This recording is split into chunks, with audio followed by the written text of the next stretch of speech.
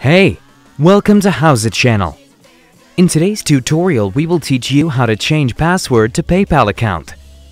Open your web browser. Go to PayPal web page. Log in to your account. Click on the gear icon at the top right corner of your screen. Go to Security tab. Click on Update next to the password option. Enter the current password. Create a new password and confirm it. Click on Change Password. You will get a message saying your password is updated. Log into your account using a new password. Enjoy! Thanks for watching the video.